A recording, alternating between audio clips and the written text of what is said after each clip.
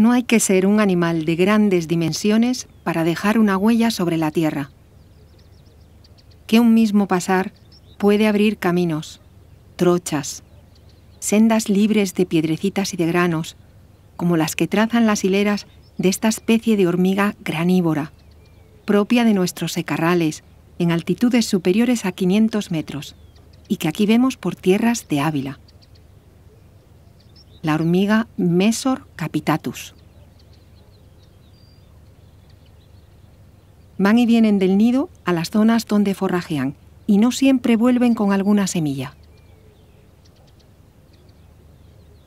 Sostiene el profesor Espadaler mirmecólogo que a menudo regresan de vacío. No es grave. El sistema acepta perfectamente los errores y las ineficacias.